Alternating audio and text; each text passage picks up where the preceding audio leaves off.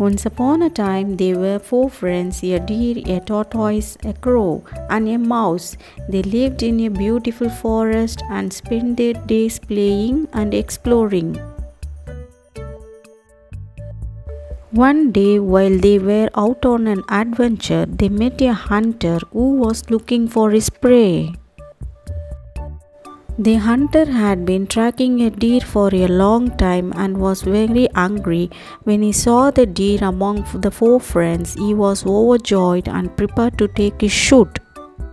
However, the tortoise, crow, and mouse quickly came up with a plan to save their friends.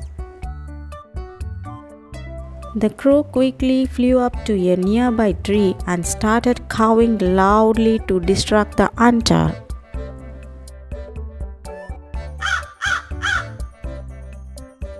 The mouse scampered over to the hunter and nibbled on his shoe to irritate them.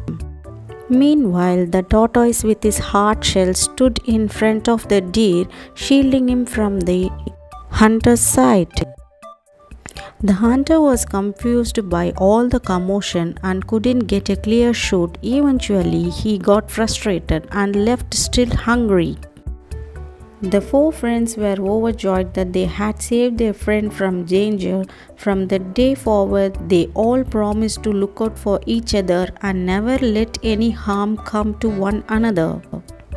And so the four friends continued their adventures, living happily ever after in the beautiful forest. Thank you for watching kids. Subscribe and like for more videos.